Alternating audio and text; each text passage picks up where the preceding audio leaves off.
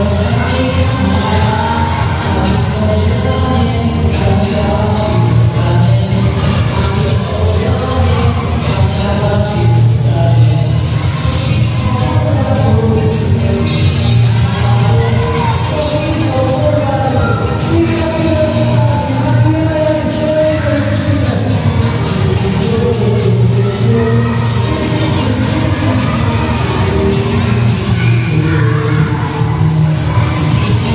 Você me amará, a